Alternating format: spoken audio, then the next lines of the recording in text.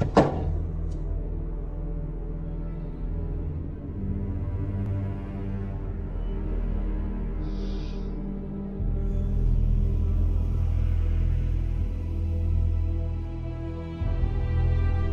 not your enemy, Diana.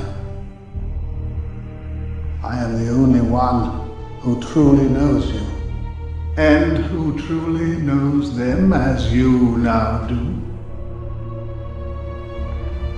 Always been and always will be weak, cruel, selfish, capable of the greatest, hardest